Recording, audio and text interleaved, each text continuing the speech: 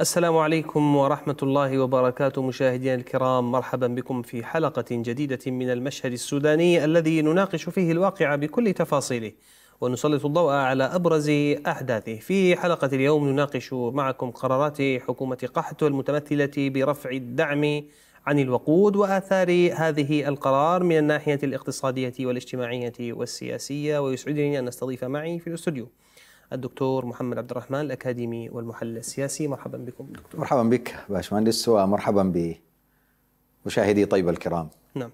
دكتور يعني الإجراء الذي كان الحديث مستمرا عنه من الحكومة السابقة ثم بعد ذلك طيلة فترة هذه الحكومة الانتقالية وهو قضية رفع الدعم عن الوقود. الحاضنة السياسية كانت في السابق تهدد بإسقاط الحكومة في حالة رفع الدعم عن الوقود وهذا كلام منذ العام 2013 آه الآن أصبح هذا القرار ماثلا ببيان رسمي من آه وزير الطاقة والتعدين المكلف ويعني هو تلا بيان وزارة المالية وقال نحن آه أنزلناه إلى أرض الواقع للتطبيق. أنتم شاهدتم هذا البيان. ما هو تعليقكم الأولي على هذا البيان؟ بسم الله والصلاة والسلام على رسول الله وعلى آله وصحبه وسلم. يعني ما من شك طبعا أي شخص عنده شوية معرفة بعلم الاقتصاد أو علم المال يعرف أن أن الدعم في في في أي اقتصاد هو هو هو واحد من من تشوهات أي اقتصاد يعني. والاقتصاد الذي يعني تستمر فيه الدولة بالدعم إلى هذا الحد لأنه وجود دعم يعني يعني في قلة في الإنتاج. إذا كان والله هذا الدعم من خلال استيراد ولا من خلال المهم يعني الدولة بتضخ مال بتدعم به سلعة من السلع الاستراتيجية. وعادة لما أفكر في رفع الدعم بفكر في في قضية زيادة الإنتاج عشان يكون في وفرة والوفرة هي التي تؤدي إلى إلى إلى إلى هبوط الأسعار. معروف يعني قانون العرض والطلب. فعلى كل يعني هو قرار خطير ما في شك. يعني تبعاته ضخمة وكبيرة جدا تبعات سياسية وتبعات اجتماعية وطبعا التبعات الاقتصادية الأصلية في ذلك. هو قرار خطير. ما في شك في هذا أبدا. أن أن أن أن تقرر حكومة كانت تدعم سلعة استراتيجية يستفيد منها قطاع ضخم من من من الشعب من محدودي الدخل. الذين عندنا في السودان يبلغ تعدادهم أكثر من 60% من الشعب تحت تحت مستوى خط الفقر. أنا أتصور ده قرار خطير جدا لا سيما والحكومة لم تتخذ أي إجراءات ولا يعني برامج تحاول أن تحد من سلبيات وتداعيات هذا القرار. نعم. دكتور يعني كان من من أهم مخرجات المؤتمر الاقتصادي القومي الذي وصف بأنه الأول والذي يعني تكلمت الحكومة كثيرا عن أنه هو الذي سيكون أو مخرجاته هي التي ستكون القائد للاقتصاد فيما بعد المؤتمر.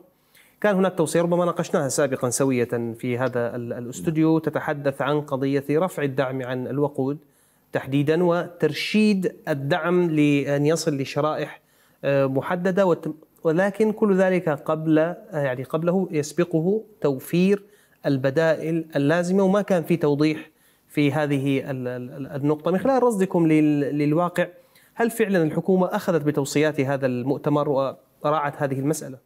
ابدا. واضح إنه المؤتمر كان عبارة عن امتصاص لغضبة الكثيرين. واضح إنه كان امتصاص كده ل لكثير من الكلام الذي كان يدور في الخارج. فقالوا خلينا نجيب ونجمعه في المؤتمر الاقتصادي ده ونسمع الناس ويقولوا كلام والحكومة كان عندها خطة من ديسمبر الماضي. في الحقيقة. بل, بل لولا تدخل الحاضنة السياسية وقول الحرية والتغيير وقطاعات قوية فيها لا لا لا لنفذ من من من ديسمبر من من من بداية العام لنفذ لنفذ موضوع رفع الدعم. لأنه واضح إنه الوزير المالية في رحلته لأمريكا ولقائه بمديرة صندوق النقد الدولي ولقائه بكثير من المسؤولين الأمريكان هناك. كان واضح إنه زول جاي بالموضوع بتاع الريسبي حقت صندوق النقد. صندوق صندوق النقد الدولي يعني. نعم. بخطه صندوق النقد الدولي وروشته صندوق النقد الدولي. نعم. دكتور ف... نعم. دعنا نشاهد معا تقريرا حول هذا الموضوع ونعود بعده للتعليق. نشاهد معا. محطات خارج الخدمة وأخرى ينتظر أمامها طوابير من السيارات لساعات طويلة أملا في الحصول على لترات من البنزين أو الجازولين. فالازدحام أصبح مشهدا مألوفا في العاصمة الخرطوم والصفوف باتت متلازمة في ظل شح المحروقات ولا حل يلوح في الأفق. وتبرر حكومة حمدوك الأزمة بعدم وجود النقد الأجنبي. منذ وقت ليس بالقريب والحكومة تلوح برفع الدعم عن الوقود وعقدت ورشا وندوات في سبيل إقناع الخبراء وأصحاب الشأن بضرورة رفع الدعم وفي كل مرة. تواجه معارضة. كان آخرها المؤتمر الاقتصادي الذي عقد في قاعة الصداقة بالخرطوم حيث اتفق الحضور من خبراء اقتصاد وأكاديميين أنه لا رفع للدعم إلا بعد إيجاد البدائل. بعد هذا الشد والجذب وانشغال الرأي العام بقضية التطبيع مع الكيان الصهيوني ورفع اسم السودان من قائمة الدول الراعية للإرهاب قامت حكومة حمدوك عبر وزير الطاقة المكلف خيري عبد الرحمن بإعلان رفع الدعم عن الوقود. وقال عبد الرحمن في المؤتمر الصحفي أن الحكومة قررت رسميا رفع الدعم عن الوقود ليصبح سعر لتر البنزين المستورد ب 120 جنيه بعد أن كان ب 28 جنيها للتر الواحد بينما ارتفع لتر الجازولين من 23 جنيها إلى 106 جنيهات. وأعلنت الحكومة عن أسعار وقود خدمي سيباع في عدد من المحطات بسعر يبلغ الستة والخمسين جنيها للتر البنزين وستة وأربعين جنيها للتر الجازولين. القرار أثار موجة من الاستياء العام في الشارع السوداني سيما في ظل الأوضاع الاقتصادية الطاحنة التي تعصف بالبلاد وحذر خبراء الاقتصاد من خطوة تحرير المشتقات النفطية التي تؤثر سلبا على المواطن السوداني. وتشل قطاع النقل والقطاعات الصناعية والزراعية وعموم التجارة في ظل تراجع للجنيه أمام الدولار إضافة إلى تدني رواتب الموظفين وأكد الخبراء أيضا أن وصفة صندوق النقد الدولي تؤثر وبشكل صارخ على معاشات المواطنين. اتخذ قرار رفع الدعم وسط أزمة طاحنة وقلة في الكمية التي تزود بها محطات التعبئة مما يؤثر سلبا على كافة أطياف الشعب بما فيهم الفلاحين الذين أكدوا عدم التجهيز الكامل للموسم الزراعي الشتوي بسبب قلة الوقود. ويرى مراقبون أن قرارات الحكومة قد تتسبب في موجة أخرى من الاحتجاجات في ظل ازدياد الأعباء المعيشية والارتفاع غير المسبوق في أسعار السلع الأساسية. ويبقى السؤال قائما لماذا لم تتخذ الحكومة الحلول المناسبة بدل الرفع الكلي عن الوقود. نعم. أنت يعني يعني أعلق بالسؤال الذي انتهى به التقرير لماذا لم تتخذ الحكومة الطرق المناسبة للجوء إلى قضية رفع الدعم؟ طبعا الحكومة آه، آه، كل حكومة تنفيذية يعني بتبحث عن عن عن عن, عن أسهل الحلول وأيسر الحلول. آه، وأن وأن يتحمل معها الشعب جزءا من من القضية. لا أن تتحمل هي العبء الأكبر الذي يؤثر على بقائها في في الحكم أو يؤثر على على أداء الحكومة أو أو شيء من هذا القبيل يعني. فالحكومة للأسف الشديد يعني يعني خلينا من من التفكير الابتدائي اللي هم الذي الذي كان عندهم والذي كان غير غير معلنا. من ديسمبر يا أخي لما أنت أعلنت تكلمت عن الموازنة وأنقصت في الحقيقة الدعم للمشتقات بشكل ضخم جدا جدا جدا. يعني آه، آه، آه، من من من من 134 مليار جنيه لدعم البنزين إلى إلى إلى 61.5 الديزل. إلى 61.5 يعني تخيل تخيل يعني أكثر من النصف تقريبا. أكثر من 50% انت انت أنت أنقصت الدعم في الموازنة. وكذلك البنزين. آه، آه، آه، من من من من من 22 مليار إلى إلى إلى إلى إلى إلى 5.5 مليار. وده كلام ده ده ده, ده دروب ضخم جدا جدا جدا. مع ذلك الحكومة من ذاك الوقت إلى اليوم لم تتخذ التدابير الضرورية لأنهم كانوا يعلمون أو إذا لم يكونوا يعلموا هتبقى مصيبة. اذا إذا كان المواطن البسيط في الشارع السوداني يعرف أن رفع الدعم يعني زيادة أسعار ال ال الوقود هذا سينعكس على كل السلع كل شيء في الحقيقة حتى الخدمات الكهرباء والماء لأن إنتاج الكهرباء وإنتاج الكهرباء والماء يعتمد على الديزل أيضا. فهم يعرف كانوا يعرفون تماما عفوا ان ان أن هذا سيؤثر على كل السلع على كل حياة الناس. فلماذا لم لم تتخذ أنت الإجراء لكن لكن دكتور يعني لكي نكون واقعيين يعني ما هو الإجراء الذي كان يمكن للحكومة أن تقوم به؟ الخزنة فاضية ما في قروش والبلد أصلا بتستورد آه، كميات آه، كبيرة والعالم كله في أزمة آه، اقتصادية. السودان ليس آه، بعيدا عنها. يعني يسوي شنو؟ لا في حل ثاني ما في حل ثاني. لا هم هم يعني ال ال ال ال ما في حكومة تيجي تقول والله أنا لقيت خزنة فاضية. خزنة فاضية دي ما الكلام اللي قاله حميتي والأرقام اللي والأرقام اللي قال وزير المالية ده غير إنه البلد شغال البلد فيها ضرائب بتنجمع وفيها جمارك بتنجمع وفيها البلد ما هي واقفة. البلد البلد ما, هي مش جو جماعة قفلوها بمفتاح وبعدين انهم لما جو استلموها قاعدوا يفتشوا يعني يفتحوها. البلد شغالة والقطاعات شغالة قدر الشغال منه يعني. وفي ضرائب بتجمع في عوائد بتجمع في يعني البلد داخله داخلة موارد يعني. ما في شك في ذلك يعني. فانت أنت عشان عشان أول حاجة رفعت الرواتب ولم تكمل إجراءاتك في في, في هذا الأمر. صرف الناس مرة واحدة ثم الآن مشاكل مع وزارة المالية في قضية الإيفاء بهذه الزيادات. أنت مفروض يكون عندك آه، آه، دعم اجتماعي مفروض يكون عندك آه، مظلات تأمين اجتماعي غيره مظلات اجتماعية. لم تفعل ذلك تكلمت على كثير جدا على التعاونيات وعلى المش عارف إيش ولم يحصل شيء في هذا كله. تكلمت على برنامج على برنامج سلعتي وبرنامج سلعتي برنامج مشوه. ده, ده, ده دي طريقة مشوهة في الاقتصاد. أنت لما تجي تجيب السلعة وتبيعها بغير سعرها. الرسم السلعة دي ما حيشتريها الغني والفقير ما حيشتريها الفقير لوحده. يعني انت لما تقول لي برنامج سلعتي برنامج سلعتي ده انت قاعد تبيعه للفقراء بكروت؟ انت قاعد تبيعه في السوق وقاعد يشتريه الغني والفقير. فانت انت حتى حتى هذا لم تديره إدارة صحيحة من أجل أن أن تفيد فعلا الفئات التي تحتاج. فهم ما يعني ما فعلوا أي قضية في في في, في قضيه مثلا قضية الضمانات التي يمكن أن تعطى لكثير من المستثمرين والناس الذين يمكن أن يأتوا ليساهموا الآن ليجد غدا هذه كلها قضايا كان يمكنهم ان ان ان أن يتعاملوا معها وكان يمكنهم ان نعم. أن يفعلوها دكتور يعني ال ال ال ال الكلام يعني كلام ال ال الوزير المكلف كان واضحا في أن هذه القرارات تسري بشكل مباشر ثم كان هناك التعقيب الذي يسمي الشركات وأصبح هناك واضح أن الحكومة تعلن عن أن 14 شركة من شركات ال ال ال الوقود هي ستقوم بالبيع بالسعر الحر آه، اللي هو ال 120 جنيه للبنزين و 106 للجازولين وهناك 20 شركة أخرى ستكون تبيع بالسعر الذي اسمه السعر الخدمي آه، يعني بيتكلموا على 46 جنيه للجازولين و56 جنيه للبنزين. آه، يعني حينما نستمع لأسماء هذه الشركات ربما فيها يعني شركات كبيرة ولعل الإخوة في الكنترول يعني يجهزوا لنا الجزء المتعلق في بأسماء هذه آه، المحطات.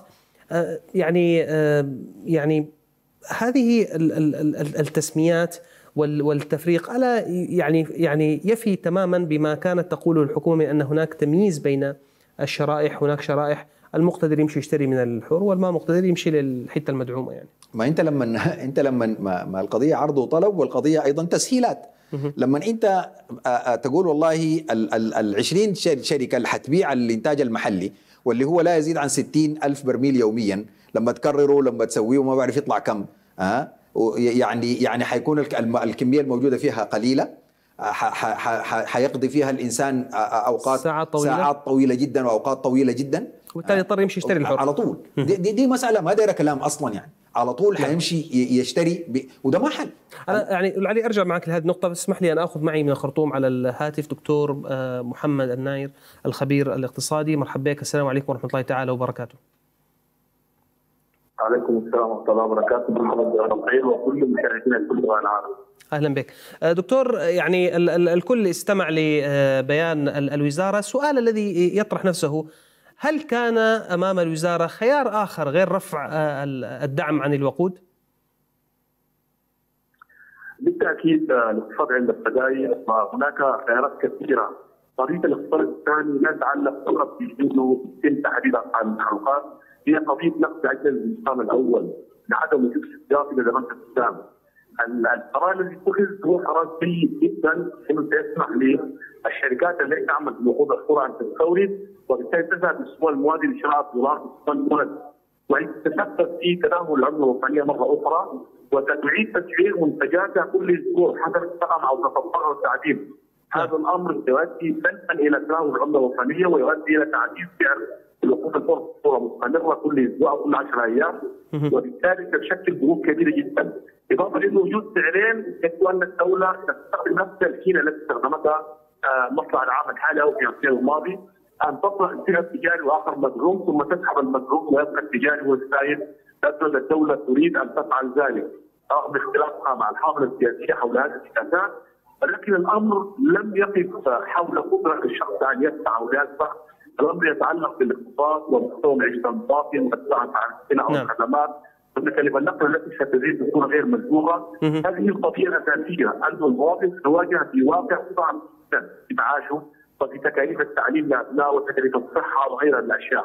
خاصه إذا علمنا أن آه، ال- ال- الدور المنتج محليا تم زيادته باستثناء الناس قبل يومين ولم يتم الإعلان عن ذلك أو التصريح عن ذلك على الإطلاق حتى الآن. طيب دكتور يعني نحن شاهدنا التوصيات التي كانت في المؤتمر الاقتصادي وكانت بتنص على أنه توفير بدائل قبل الشروع في في في رفع الدعم. هل أنتم من خلال يعني يعني خبرتكم الاقتصادية وما ترونه من سلوكيات يعني الحكومة، هل هي فعلا تستند إلى يعني خبرة اقتصادية بحيث أنها يعني أقدمت على هذه الخطوة وخطة البدائل أيضا موجودة؟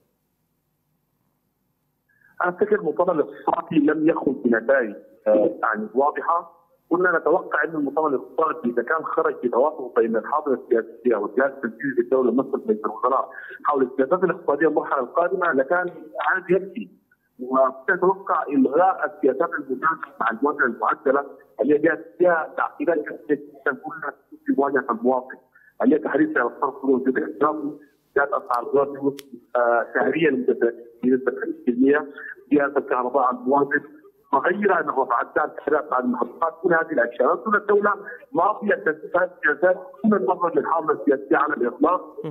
وده واضح جدا. حتى هناك يعني خبر في السوشيال ميديا الآن هناك اجتماع يوم السبت القادم بين المجلس الوزراء والمجلس السياسي والحاضنه السياسيه للتوافق حول هذه الخطوه التي تكون رجوع الحاضنه السياسيه. طيب آه، أنا خليني أختم معك بالسؤال الآتي هل من نصيحة يمكن أن تقدمها الآن على الهواء للحكومة الحالية فيما يخص موضوع رفع الدعم بال- بال- بالطريقة التي التي يعني لا لا تؤذي المواطن وفي نفس الوقت يمكن أن تتعامل مع إشكاليات الاقتصاد السوداني حاليا؟ أن الدولة يجب أن تتراجع عن مثل هذه القرارات وأن تفكر جديا تحقيق الاستقرار الاقتصادي اولا ثم تفكر وتدرس قضية رفع الدعم أو تحرير الأسعار بصورة لا تمس حياه المواطن، يعني من الممكن ان نصل في المرحله القادمة إلى أن نتعامل بالسعر العالمي هبوطا وارتفاعا، لا هذا لا توجد مشكلة في ذلك، ولكن ليست بهذه الطريقة التي آه، أصبحت الحكومة تعطي جرعه للمريض تفقد حياته بالكامل. أنا افتكر هذه الجرعة جرعة قاسية جدا وجرعة صعبة جدا. والمواطن الآن سيواجه أسعار غير مسبوقه بتكاليف الأسعار السلع والخدمات. خاصه اللي قضية التعليم اللي عنده ابنائه في الجامعات أو في المدارس وقضية العلاج الذي ارتفع بالذات قبل يومين وغيرها من تكاليف النقل التي يعني غير مسبوقة. والدولة ليس لديها قطاع نقل عام حتى لو استطاعت تخلق استقرار في أسعار النقل. هذه التعقيدات الدولة يجب أن تتراجع عن هذه السياسات وأن تسعى لإرضاء المواطن الذي يفكر ثوره ديسمبر ولا تنظر للمجتمع الدولي وتفكير المواطن البسيط. دكتور محمد آه، ناير الخبير المحلي الاقتصادي شكرا لك على هذه المداخلة. اذا دكتور يعني دكتور ناير من الخبراء المعروفين في مجال الاقتصاد ويتكلم أن هناك طرق أخرى كان للتعامل مع هذا الأمر ويشير بأن يعني يمكن للحكومة بعد فترة من ال- الإصلاح ال- الاقتصادي البسيط أنها تتعامل بالسعر ال- العالمي لكن آه، يعني لا يكون بهذا بهذه القساوة على المواطن لعله يشير ضمنيا إلى أنه حينما يتحسن وضع المواطن الاقتصادي ستكون عنده القدرة على أن يدفع قيمة البنزين بسعره العالمي كما يحدث في معظم آه، دول العالم. ما تعليقكم؟ هذا صحيح يعني زي زي ما قلنا ال- الدعم في أي اقتصاد هو هو هو تشوه في الاقتصاد. ال- ال- ال- الحكومة كان ينبغي لها الا الا تزيد ضائقة المواطن وهي تعرف حالته يعني. الا تزيد ضائقة المواطن قبل أن قبل أن تصل إلى إلى إلى إلى هذه الحلول. لماذا لم يعني تتدرج الحكومة في رفع الدعم؟ هذه واحدة من الحلول المهمة جدا جدا.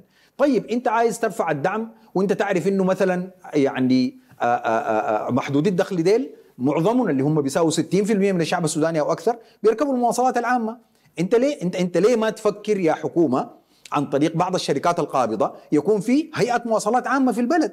هيئة المواصلات العامة كانت حتحل الإشكاليات كلها بالمناسبة. هذا الكلام يعني قضية ال- النقل والمواصلات. لن تؤثر فقط على المواطن كفرد وإنما حتؤثر على الاقتصاد الكلي حق البلد بالقطع طبعا. دي ما دايرة كلام يعني. لما ال- العامل عن عن عن موقع الإنتاج ويتأخر الطالب عن الجامعة ويتأخر الأستاذ ويتأخر الطبيب أنا أفتكر ده, ده ده تأثير مباشر على الاقتصاد الكلي في البلد. فانت أنت ما حددت حلول أصلا وحلول وحلول قاطعة. لما يكون ال- ال- يعني مثلا النقل والمواصلات في السودان الآن أنا ممكن أقول لك 99% منه قطاع خاص. ليس للحكومة يد فيه. يقف في الوقت الذي يريده يعمل في الوقت الذي يريده. لكن لما يكون في زيه زي أي دولة في الدنيا في قطاع يعني يعني لو غطت الحكومة فقط فقط 30% إلى 40% من حاجة النقل العام في البلد وتركت الباقي للقطاع الخاص كان يمكن لهذا أن أن أن, أن يحمل جزءا من العبء الذي يمكن أن أن أن, أن ييسر على الناس. لكن للأسف الشديد الحكومة لم تت يعني ما تعبوا نفسهم أصلا دارين نقول بال- بالعربي الفصيح كده إنهم لم يتعبوا أنفسهم أصلا في أن يجلسوا ليخططوا تخطيط حقيقي في قضية رفع ال ال ال ال الإشكالية عن كاهل المواطن قبل أن يعني يرفعوا الدعم بهذه الصورة الكبيرة جدا جدا. هذا كلام هذا كلام يعني آه، آه، آه، واضح لكل شخص. ناس مشوا على الحل الأيسر لأنه عايزين برضه هم أيضا في قضية الاقتصاد دي ما دارين يتعبوا في مسألة الإنتاج ولا دعم الإنتاج ولا غيره. أنت يا أخي قاعد تتكلم عشان كده قلنا لك يا تبقى حكومة انتقالية حقيقية تقول والله أنا حكومة انتقالية يا جماعة ادار احل الضائقات دي بسرعة وأعمل لي برامج إسعافية وسنة واحدة فقط وتمشي تتوكل على الله وتجيب ناس منتخبين من من الشعب يتحملوا المسؤوليات دي والشعب يمسكهم من اضنينهم ها؟ ومن رقابهم في الحقيقة. ولا انت الآن دقيت صدرك وقلت عايز تت- تتحمل كل هذه الملفات التي ليست من وتمد شأنك. المرحلة الانتقالية. وتمد المرحلة الانتقالية إلى ثلاث سنوات الحقيقة أربع سنوات ونخشى أن يكون ذلك حتى أكثر وما قدرت تشتغل الله أكبر يعني أنت حت انت أنت الشعب يموت يعني دكتور هل هل هل الحكومة ماخذة سياسة التخفف من من الأعباء يعني إحنا شايفين في موضوع القمح برضه بقى في قمح تجاري وهسي ال- الوقود برضه في وقود تجاري. زمان كان وقود تجاري وقود مدعوم هسي بقت المحطات يعني تقريبا مناصفة يعني في موضوع ال ال ال الوقود التجاري وال طبعا والمدعوم. عايزة تتحلل. الحكومة طبعا عايزة تتحلل شيئا فشيئا من هذه الواجبات كلها لأنه دي وصفة صندوق النقد الدولي. صندوق النقد الدولي أخي لا ينظر إلى أي موازنة فيها دعم. أي موازنة فيها دعم ما, ما, ما بينظر لها أبدا. صندوق النقد الدولي والبنك الدولي آه، آه، آه، اقتصاد كلي perform performing زي ما بيقولوا. لا لا لا لا, الدين ما بيدعموا دعم. وبعدين من اوائل الحاجات اللي يطلبوها منك. خصخصه رفع الدعم آه، تخفيض العملة. ده كله.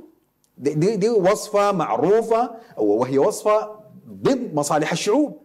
أه؟ لا. تسحق الفقير سحقا. تماما تسحق الفقير سحقا. و- وتقلل الغني بتنزله للطبقه متوسطة. ب- ب- إلا يبقى بس صاحب الثراء الفاحش. ب- ب- بالضبط كده. فهم فهم للأسف الشديد الآن. ده الحل الأيسر. ده الحل اللي بيجيب القروض وده الحل اللي بيجيب آه، آه، التعاون الاقتصادي الخارجي من صندوق النقد الدولي والبنك الدولي. وده الحل. لأنه دول عايزين يضمنوا pay back أيضا. دارين يضمنوا أيضا إعادة قروض وإعادة آه، آه، أموال بتضخ في في في نعم. في, في إصلاح اقتصادي. دكتور خلينا نشوف موضوع آه، المحطات التي ستقوم بالبيع بالسعر الحر نشاهد معنا.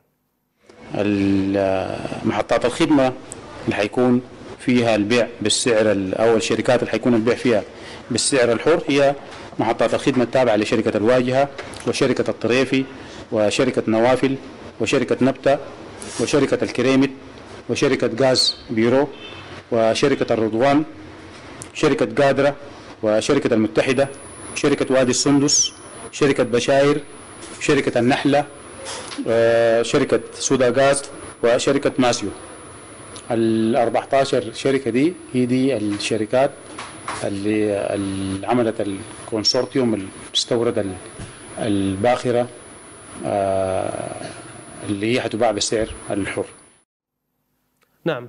آه، دكتور يعني الآن إذا 14 شركة وقيل أن هناك 20 شركة أخرى يعني آه، ستتولى قضية ال- البيع بالسعر المخدوم. لكن الأسماء التي استمعت آه، إليها ما تعليقك؟ آه، يعني أنا شايف إنه كلها شركات شركات ربحية شركات شركات دايرة تربح يعني.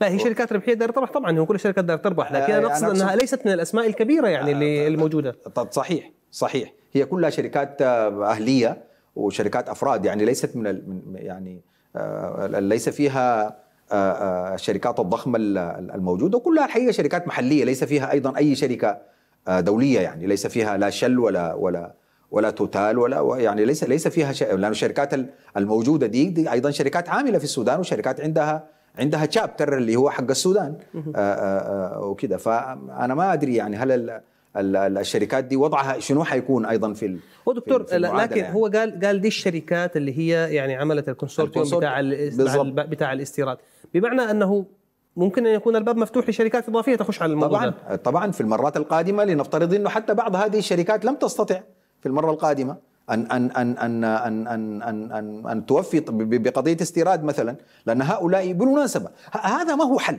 ها؟ إذا لم إذا لم يكن هناك ترتيب يعني مثلا الآن في في في في في, في وضع العملة غير المستقر والاقتصاد غير المستقر ده والتضخم غير المستقر في البلد هؤلاء الناس الآن بالقطع لم لم يوفروا الدولار من من من البنك المركزي. لو وفر لو كان الدولار سيوفر من البنك المركزي لقامت الحكومة بهذا دكتور حتى ملاحظتك انها شركات كلها شركات محلية وهي ما خاشة فيها مثلا شل ولا توتال الفرنسيه ولا غيرها ولا بتروناس أو حتى CNPC. الصينية ودي كلها شركات كان ممكن الناس تقول ما هي شركات عالمية ممكن يكون عندها. شنو؟ علاقات وعندها عندها مصادر عندها مصادر صحيح. تتاجر كذا. لكن حنتكلم عن شركات محلية رؤوس اموالها شركات محلية, محلية, رؤوس أموال محلية حتشتري الدولار من السوق الموازي. لأنه الحكومة لا يمكن أن تعطيها دولار. والدولار ده يعني سعر بالمناسبة السعر التجاري سيكون معتمد على سعر التكلفة. هل هل هذا يفسر حدوث- قفزة في أسعار صرف الدولار في اليومين اللي فاتوا ديل؟ آه يعني الناس كانت متوقعة بعد قرار ترامب والتطبيع الحكاية دي تنزل. نزلت شوية كده بعد شوية جات راجعه جا- رجعت مرة أخرى لأنه ما قانون العرض والطلب. الدولار في السودان الآن لم يعد لم يعد لم يعد عملة قياس وإنما سلعة يضارب عليها. سلعة يعني الناس قاعد يبيعوها يشتروها يعني. زول يبيع الليلة وبعد ساعتين يش- يشتريها ويبيع ثاني عشان يربح نعم. وكده يعني. دكتور ناير أشار في في مداخلته إلى حكاية أنه سعر الدولار سيتضرر كثيرا لأنه حتى في البيان ال- ال- ال- ال- البيان المؤتمر يتكلم عن أنه السعر اللي حتباع به السعر الحر ده حتتم مراجعته اسبوعيا. يعني ممكن الليلة أنت تشتري ب 120 أيوه بكرة الجاي حتشتري ب بالضبط كده. لأنه لأنه لأنه دي دي شركات قضيتها أن تربح، تربح قليل أو تربح كثير هذا أمر آخر لكنها أن تربح، إذا إذا إذا إذا ارتفع الدولار أو, أو, أو ال- ال- ال- الذي الذي اشترت به بما يعادل العملة السودانية مثلا ف- فهي ستضطر أن ترفع القيمة عشان عشان عشان تصل إلى مستوى الربح المطلوب. دكتور ده غير الأثر بتاع الدولار. ده ما حيسبب ازدحام على الطرمبة أنا أشتري الليلة لأنه لو صبرت لحد بكرة بيكون أغلى. طبعا ده ده, ده بالمناسبة. يعني ال ال ال ال ال الإشكاليات المتراكمة واللي حتولد بعضها البعض حتكون كثيرة. لأنه لأنه ما في ما في نظام ما في سيستم أنت عملته وقلت والله أنا ححرر ال- المسألة دي. أنا أنا أنا ال- ال- الجزء ده ده جزء مدعوم وده جزء حأرفع منه الدعم. وحنتعامل فيه بمنطق السعر العالمي. هبوطا هو بيتكلم و- بالسعر العالمي. قال إحنا حنراجع بس حتكون مراجعة أسبوعية يعني في تعديل السعر. لكن هل هل هل هل المراجعة من أجل أن اذا إذا هبط السعر العالمي ان ان أن يهبط السعر المحلي أيضا؟ أنا لا أتصور ذلك طبعا.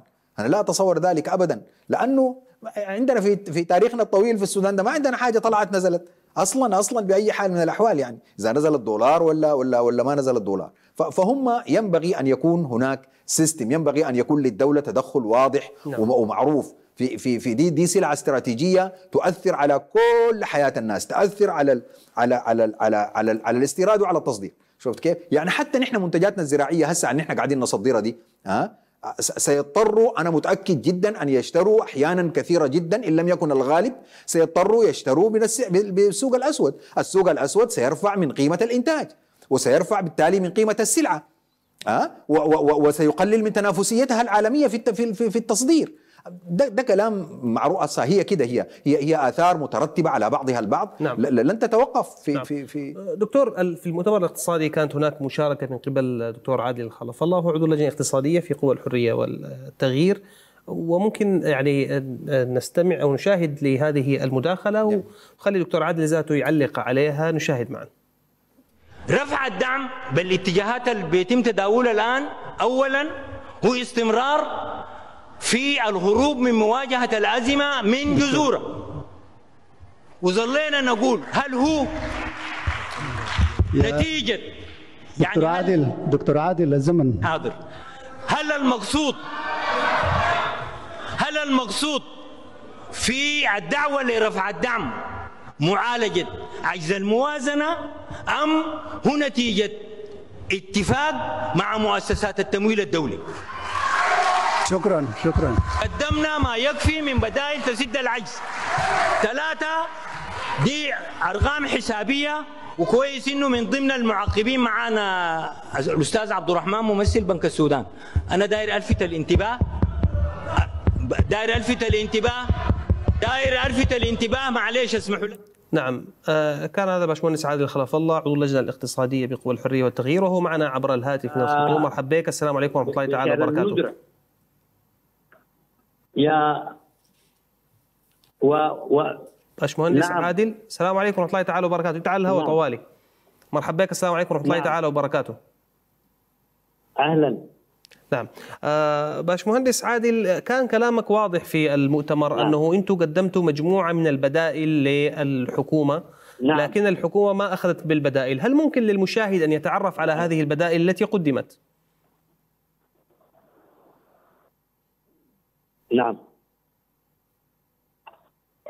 ال ال ال ال ال ال فوق لافتعال الأزمة ال- القرار ده هو أصلا كان متخذ منذ إعداد الموازنة في شهر ديسمبر ولقد وضح ذلك في مناقشاتنا مع السيد وزير المالية الأسبق والتيم الذي أعد الموازنة. ربط قوى الحريه والتغيير لهذه الحزمة من سياسات التحرير هو الذي ارجعوا لحين البت فيها في المؤتمر الاقتصادي. عقد المؤتمر الاقتصادي وطلع بتوصياته وليس هنالك أي توصية تلميحا أو تصريحا بتشير لتبني سياسات التحرير. اجتمعنا قبل يومين من المؤتمر الاقتصادي بالسيد رئيس مجلس الوزراء وكان بغرض المذكرة اللي قدمناها أعلنا فيها رفضنا لما سمي ب آه، تعديل الموازنة واللي هي ناصه على ما تم تأجيله في ديسمبر. وأمر رئيس الوزراء بتشكيل ثلاثة لجان باعتبار توجهنا كان إنه إذا كان وزاره المالية أو التيم الاقتصادي اللي بيرسم السياسات ال- داير يلجأ لهذا ال- ال- ال- ال- العلاج المر باعتبار إنه الميزانية فيها عجز فأدونا فرصة نراجع الإيرادات والإنفاق ونضعها في إطار سياسات كلية. تمام لأنه لا يمكن أن تتحدث عن تحرير أسعار المحروقات بمعزل عن ال- النظره الكلية للاقتصاد والنظره الكلية للموازنة. ال- خلال من ديسمبر حتى الآن كان هنالك تصميم أنا أقدر أقول وتعصب لإنفاذ الوصفة التقليدية لصندوق النقد الدولي خاصة بعد الإعلان في مطلع أكتوبر اعلان صندوق النقد الدولي على قبوله للبرنامج بتاع الإشراف الموظفين اللي اقترحته حكومة السودان. نعم. واللي إذا تجاوزنا الكلام الحديث عن ال- الشفافية والحوكمة والاقتصاد الواحد وأولوية كل إيرادات الدولة للميزانية لكن مربط الفرس كان في برنامج المراقبة هو تحرير أسعار المحروقات وتوحيد سعر الصرف. طيب باشمهندس عادل عشان بس نخلي المشاهد معلش لو سمحت لي. يعني البدائل اللي أنتم قدمتوها شنو؟ لأنه هسه الكلام اللي بتقوله الحكومة بشكل واضح بتقول أنا ما عندي طريقة. ده هو حتى الوزير قال ده علاج بالكي. نعم. قدمت قوى الحرية والتغيير آه، عدد من البدائل من ضمنها آه، بمراجعة ال- آه، الإيرادات والإنفاق. وزارة المالية في آخر آه، لغاء اللجان دي قدمت إنه الميزانية فيها عجز 116 إحنا عملنا بمراجعة مع إدارات مختلفة في الوزارات المختلفة بما فيها الضرائب والجمارك وبنك السودان في إنه زدنا الإيرادات بحوالي 48 مليار وخفضنا الإنفاق بحوالي 26 مليار. وبهذا آه، خفضنا عجز الموازنة من 116 إلى حوالي آه، 32 مليار وده حد آمن. هذا واحد من البدائل العملية في زيادة الإيرادات وتقليل الإنفاق. آه طرحنا في لجنة السياسات في أهمية إنه تتبنى الحكومة سياسات تغليص الإنفاق الاستهلاكي. يعني بما فيه فيما يتعلق بالمحروقات.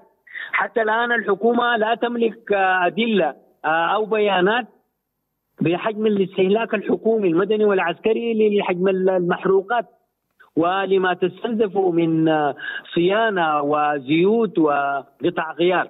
وده واحد من الاتجاهات الممكن إنها تقلل من الإنفاق وترشد من استخدام ال- ال- المحروقات. الحديث عن التهريب أيضا آه، أشرنا إلى إنه الذهب غير مدعوم وقاعد يتهرب والصمغ العربي غير مدعوم وقاعد يتهرب. في قوى عندها تاريخ في سجل تهريب السلع مع دول الجوار وبالتالي آه، الأجهزة المناط بها مكافحة التهريب ينبغي إنها طيب تقوم بواجبها نعم يا باشمهندس قدمنا بديل آخر بإنه. أيوة. نتبع فيما يتعلق بالبنزين فيما يتعلق بالبنزين نتبع أسلوب الكوتا في إنه تكون هنالك حصة للاستخدام الخاص حتى تمنع الاستخدام آه. التجاري من قبل المواطنين باشمهندس عادل أنا عشان أستفيد نعم. من, من من هذه ال- المداخلة القيمة حقيقة يعني السؤال اللي بيطرحه ال- المواطن بيقول الآن قوى الحرية والتغيير هي الحاضنة لهذه الحكومة وهي اللي قدمت الوزراء. وهي اللي صاغت برنامجها ال- ال- الاقتصادي لكن بنسمع من أعضاء اللجنة الاقتصادية الآن كلام وكأنهم معارضة يعني كأنهم هم الحكومة ما شغالة بهم اذا الحكومة دي تابعة لمنو؟ معارضة. ال- ال- السياسات السياسات اللي تبنتها المجموعة الاقتصادية آه آه لم تلتزم بالاقتصاد كعلم. يمكن أن نتحاور ويمكن أن نقدم بدائل. ونقلت آه، خلافها وبدأت تبشر بتوجهاتها. ولذلك آه، نحن في قوى الحرية والتغيير قدمنا ال- البدائل آه، ردا على النشاط الإعلامي وعلى النشاط الاقتصادي اللي تبنته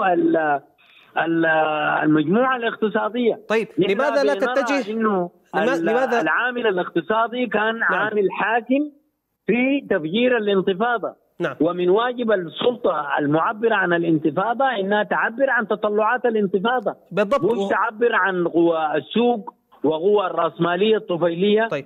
وترضخ للوصفات التقليدية لصندوق النقد الدولي وضغوط الرأسمالية الطفيلية. نعم. بالضبط الكلام ده ليست جديدة. باشمهندس عادل آه، بالضبط الكلام ده هو اللي دايره ال- ال- ال- المواطن. السؤال اللي أنا اللي بيطرح نفسه إذا كانت الحكومة الآن لا تسير وفق الرؤية الاقتصادية والاقتصاد هو العامل الأساس في في في في في ثورة ديسمبر لمحاربة ال- الفساد وأيضا إصلاح المنظومة الاقتصادية، إذا كانت هذه الحكومة عفوا أكمل سؤالي بس لو سمحت يعني أنه القضايا الحكومة لو كانت ما ماشية بالخطه. الاقتصادية المطلوبة من قوى الحرية والتغيير لماذا لا تقوم قوى الحرية والتغيير بإسقاط وتبديل هذه الحكومة لجهة أخرى تنفذ البرنامج المطلوب؟ كما أظهرت سياسة تعدد سعر الصلف السوق الأسود في العملات وجود أكثر من سعر الآن بما أعلن عنه الأمس ده اولا آه تمهيد لانحسار الأسعار الأخرى وسيادة الحكم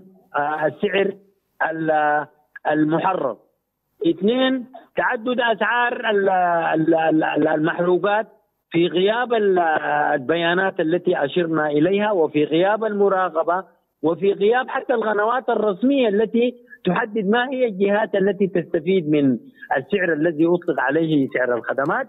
سيفتح الباب واسع للتجاوزات وللفساد وأجزم آه، بعودة أو باستمرار المضاربات في المحروقات. نعم. ال- ال- ال- ال- الخطير في هذه السياسات نقطتين جوهريتين.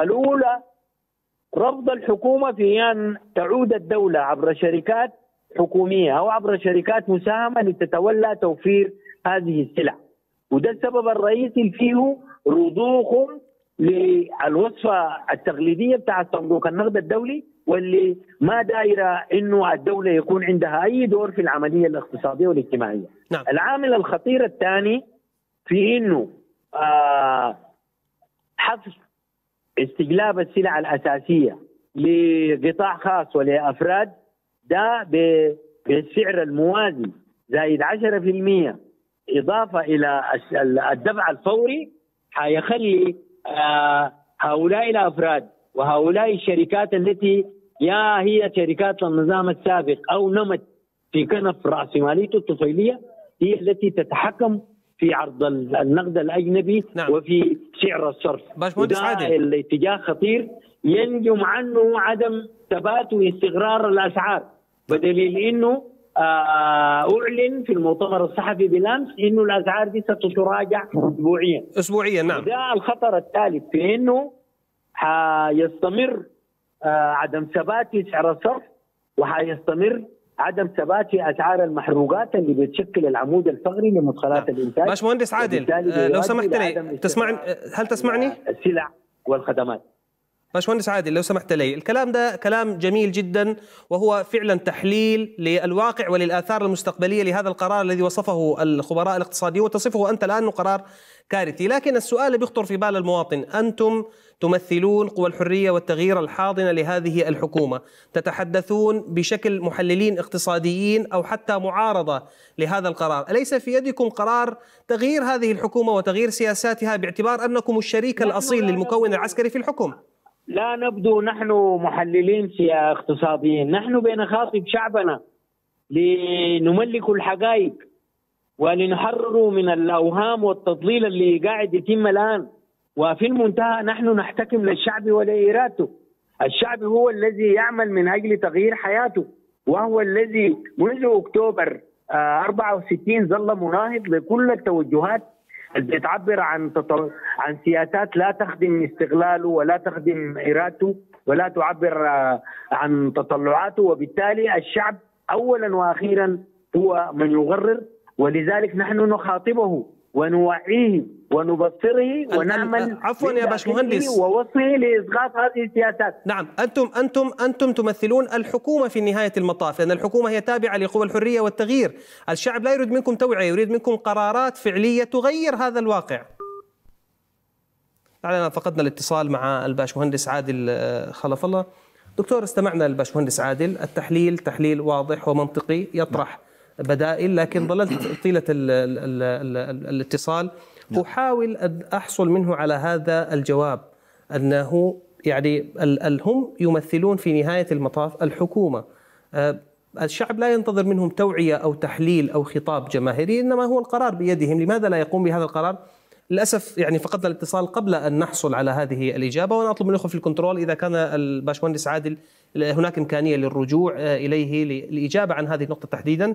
ف آه، آه، يكون هذا يعني مطلوبا جدا في هذه الحلقة. لكن أستمع لك تعليق على هذا السؤال نفسه الذي لم نحصل على إجابة عليه. وه- وهنا مربط الفرس. هنا مربط الفرس. ممكن ما يرجع ذاته. هنا مربط الفرس. لا، سنحاول يعني آه، نعم باشمهندس عادل خلف الله زول شجاع وقال كلامه بكل شجاعة فيه. هو حتى تصريحاته الليلة كانت نارية يعني هو يتكلم أن الحكومة مرت قرار الدعم باستفادة من مظلة التطبيع ويتكلم أن الحكومة بيتكلم عن وجود سعرين للوقود وهو فعليا سعر واحد ما في سعر ثاني. أيوة. يعني هو هو تكلم عن الحكومة كلاما شديدا لو قاله زول معارضة يمكن كانت الحكومة ذاتها تكلمت عليه. هو تكلم ربما أشد من آه، خطاب المعارضة. لذلك أنا قلت لذلك أنا قلت ورجل شجاع قال قال رأيه بشجاعة في أكثر من مرة ومنها المؤتمر الاقتصادي. الاقتصادي صحيح. آه، آه، فقال راي قال رأيه بشجاعة. لكن نحن عاوزينه كمان يكون أيضا واضح مع شعبه اللي هو بيفتكر إنه هو المصدر هو صاحب الحق وصاحب ال... هذه الحكومة آه، لن تتراجع عن هذه عن عن هذه عن هذه السياسات، سياسات كانت في ديسمبر وتمت معارضتها. واللجنة الاقتصادية قدمت حلول للحاضنة السياسية قدمت حلول. بعض ال- ال- ال- ال- ال- ال- ال- الخبراء الاقتصادي الاقتصاديون قدموا حلول. آه، الناس اتكلمت في الأسافير في اللقاءات وغيره. كلام كثير جدا. كان يمكن للحكومة أن تلتقط كل هذا. كان يمكن الحكومة أن تجمع هؤلاء أصلا ذاته في لجنة في جلسة آه، آه، مشوره في غيره في سيمينار. وتستشير الناس وتأخذ ب... ب... لكن الحكومة واضح اسمح لي آه، مهندس عادل عادل أنا ما شاء الله. آه، مهندس كويس. آه، عادل خلف الله آه، مرحبا بك من. جديد عذرا على انقطاع ال- الاتصال بتاعة الإنتاج وقطاع النقل آه عفوا أنا ما لسه باشمهندس عادل بتسمعني؟ نعم نعم إحنا نعم. بس لأنه ما سمعنا بداية كلامك ولسه ما ما سألنا السؤال المشروع المقدمه ال- وزارة المالية فيما يتعلق بدعم السلع ال- ال- الفخيره لا هسي بس أنا آه، عندي السؤال اللي سألته يا باشمهندس يتناسب عادل. حجم ال- اسمح اسمح لي يا باشمهندس عادل عشان إحنا. نكون بنتحاور. آه، يعني أنا سألت سؤال داير إجابته. على سعر الصرف باشمهندس عادل. باشمهندس عادل أنا سألت سؤال بحتاج لإجابة له وبعدين أنا باخذ النقطة بتاعت ال- ال- الدعم للسلع. القوى الحرية والتغيير هي المسؤولة عن هذه الحكومة. الآن أنتم بترفضوا برنامجها وخطتها الاقتصادية. الاقتصاد هو أهم عنصر جاءت آه، إليه هذه الحكومة لتصلحه. لماذا لا تقومون بتغيير هذه الحكومة لكي تطبق برنامجكم الاقتصادي الذي تقترحونه؟ إحنا كما أشرت قبل قليل آه، إعلان الحكومة والنشاط الإعلامي على سياسات لا تعبر عن تطلعات والانتفاضة هي دعتنا إلى مخاطبة شعبنا من خلال وسائل ال- الإعلام. العلاقة ما بين آه، قوى الحريه والتغيير والحكومة آه، في الوثيقة الدستورية هي علاقة يعني ما بتدي قوى الحرية والتغيير آه، موضع دستوري ولذلك التعديل اللي تم في المادة 80 بإضافة آه، مجلس آه، شركاء السلطة الانتقالية ده محاولة لمعالجة هذا الخلل. دور قوى الحرية والتغيير حسب الوثيقة الدستورية إنها تقدم للسيد رئيس الوزراء ترشيحات يختار من بينها وزراءه لكن ما في نص صريح وواضح في الوثيقة الدستورية يلزم الحكومة بخيارات الوثيقة آه، خيارات قوى الحريه والتغيير وبرنامجها. نقطة ثانية الخطأ الاستراتيجي الوقعت فيه مفاوضات جوبا فيما عرف باتفاق جوبا الإطاري بتأجيل آه، تشكيل آه، الحكومات الولائية وتع- وتأجيل المؤسسة التشريع- التشريعية أضعف أيضا قدرة قوى الحرية والتغيير في إنه تراقب الحكومة وتوجهها وتصل حسب ما موجود في ال- سلطات المؤسسة التشريعية إنها يمكن أن تستدعي الوزير ويمكن أن تسحب منه الثقة أو ممكن أن تسحب الثقة أيضا من السيد رئيس مجلس الوزراء. الفراغ في المؤسسة التشريعية هو الذي جعل السؤال الذي تفضلت إليه مطروحا وواقعا ولذلك تم تداركه في التعديل الذي تم مؤخرا في مجلس شركاء ال- ال- الفترة الانتقالية واللي ده بيخلي لقوى الحرية والتغيير دور آه آه آه دستوري في توجيه الحكومة ومراقبتها وتصويبها.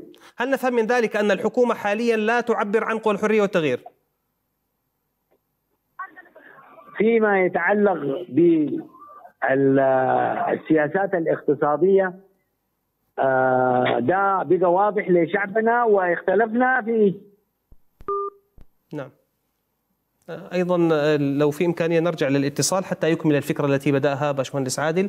اذا دكتور الكلام الآن باشمهندس عادل بقى واضح. هو بيقول ما عندنا طريقة نحن لا نغير ال- الوزراء ولا رئيس الوزراء باعتبار إنه ما كان عندنا صفة آه، دستورية. وإحنا بنقدم مقترحات وحمدوك هو الذي بي بي بي- بيطبق هذا الشيء. بيقول حلت الإشكالية مؤخرا لكن إحنا بيقول بشكل واضح الحكومة حاليا لا تعبر عن قوى الحرية والتغيير في الشق الاقتصادي. اذا هل هذه الحكومة يعني ينبغي الاستمرار معها؟ إذا كانت هي يعني الشعب جاب الحكومة دي كفاءات عشان تحل المشكلة الاقتصادية، قوى الحرية والتغيير الآن بتقول لك الناس ديل ما بيعبروا عن قوى الحرية.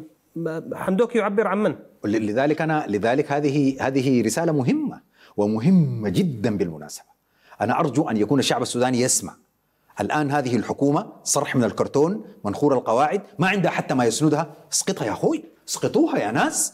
يا ناس ريحوا أنفسكم بدل بدل المعاناة هذه اليومية التي تزيد من من من مشكلاتكم وتفاقم مشكلاتكم اليومية. لماذا الصبر على على على حكومة فاشلة؟ لماذا الصبر على حكومة آه، قضيتها هي أن تنجح هي؟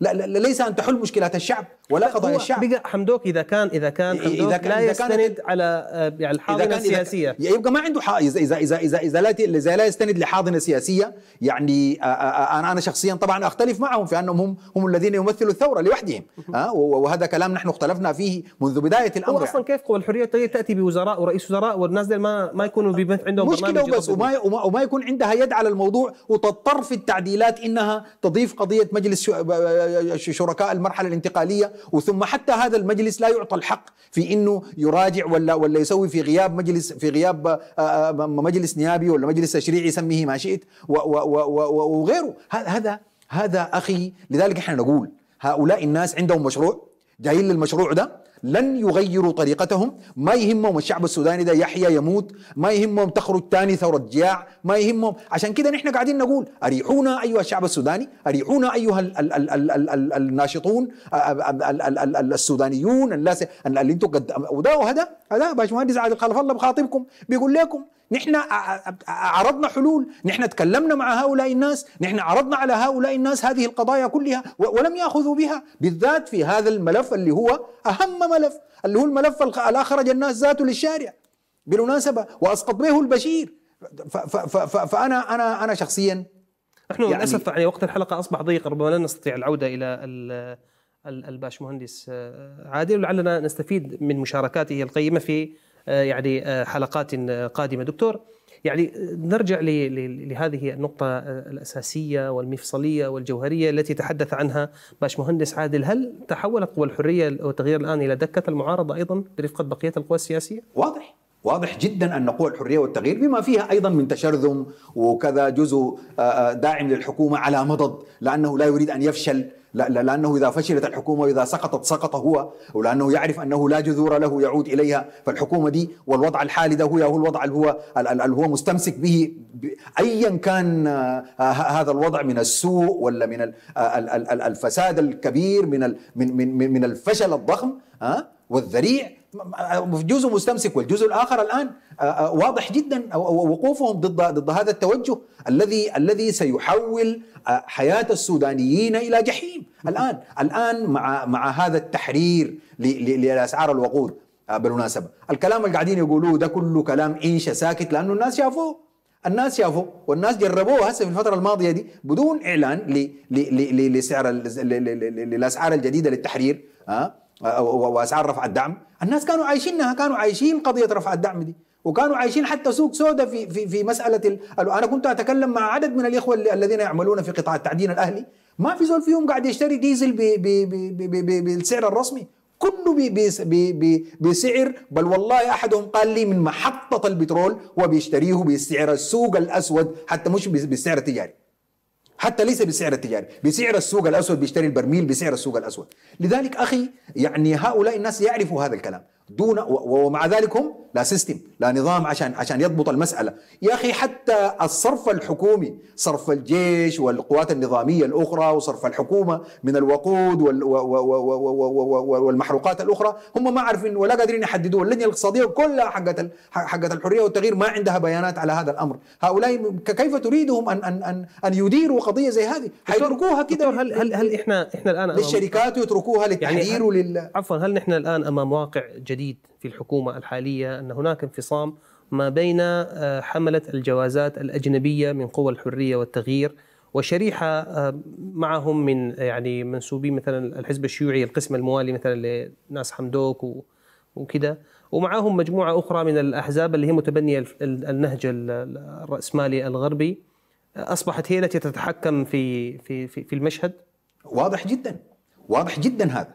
هذا واضح خالص إنه الآن حمدوك إذا كان رئيس مجلس سيادة يقول أنه لا علم له بهذه القرارات لا علم له حتى بقضيه التطبيع لا علم له. و- و- وبالمناسبة ستجد كثيرين أيضا من المسؤولين لا علم لهم بهذه المسألة. ف- فلذلك أخي واضح جدا جدا هذا الفصام الكبير جدا جدا انه والله الم- ال- الحاضنة السياسية الآن لم تعد هي الحاضنة السياسية التي يمكن أن تسمى حاضنة سياسية لهذه الحكومة. ابدا. هناك مجموعة داخل قوى الحرية والتغيير تدعم هذا التوجه وتدعم توجه الحكومة. ايا كان توجه الحكومة ده شفت كيف؟ يغطس حجر الشعب السوداني ده شفت كيف؟ ما عندهم أي مشكلة، قطاع ضخم 60% يزيد عن 60% من الشعب السوداني تحت خط الفقر، هذا بالمناسبة بالمناسبة ال- ال- ال- ال- السوق مش مش بكرة ولا بعد بكرة، فور حديث هذا الرجل بالأمس ليلا تغيرت الأسعار مباشرة. الناس الناس اصبح الصباح عندها بيقول لك تركب الركشة ب 100 جنيه وكده. مباشرة. واحد واحد معلق. في ال social media بيقول معناه بقى الزول لازم يشيل له 1000 جنيه يفتها في اليوم بس مواصلات. ب- بالضبط كده. يعني يعني بيحكي لي أحد الإخوة يقول لي يقول بنته رجعت من محل المواصلات قالت له يا بابا زادت ال- ال- القروش زادت يعني ما حتقدر تمشي الجامعة وترجع ما حتقدر تمشي محل ماشيه وترجع. شفت كيف؟ فهي كده. وده أمر طبيعي جدا جدا جدا. أنت عايز و و و عايز واحد حيجيب في الصف لمدة 16 ساعة أو 12 ساعة عشان ياخذ بترول.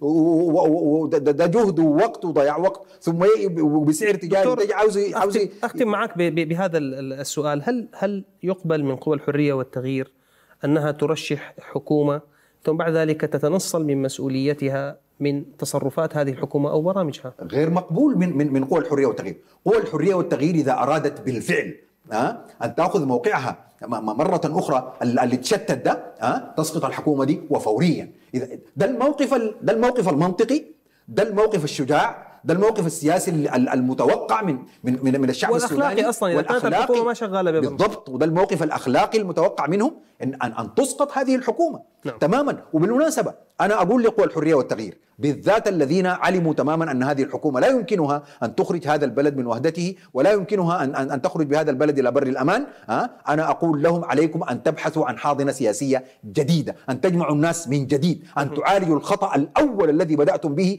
ال- التهميش وخطأ الإقصاء الذي الذي الذي فعلتموه.